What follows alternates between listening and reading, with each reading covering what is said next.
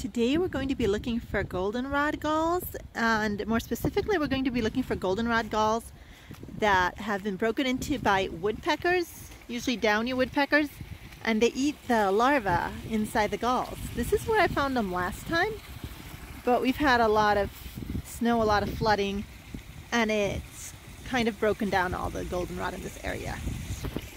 But you can see there's more down there. Um, closer to the pond. It's the weed, the kind of yellowish weed. I'll get a closer picture later. And this is a good place to look because we're surrounded with trees, which the woodpeckers like. So this is a closer view of goldenrod in winter. It is has these really kind of downy, fuzzy seed heads on it. Um, and they're hanging down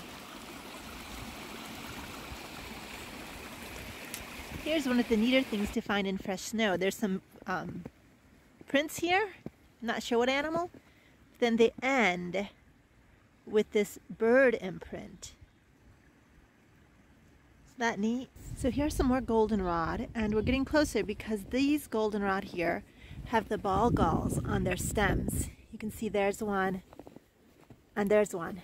When you find them, make sure you check out all sides of them to see if you can find the little holes that are made by the woodpeckers. Um, they make little cone-shaped holes and then they use their tongue to get to the larvae. Here are some that have been broken down by the heavy snow we've had. So just make sure you look at them. And there's what we've been looking for. I'm not sure I can get really focused on that.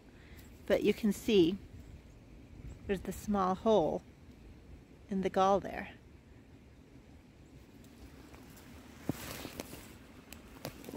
Here's some more you can check out.